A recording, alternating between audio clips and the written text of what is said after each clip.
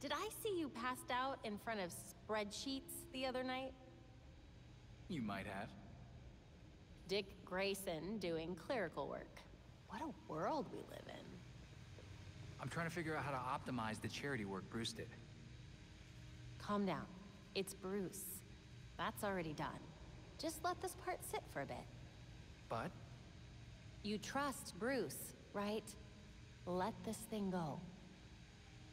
Okay, yeah, I could use the brain space for other problems.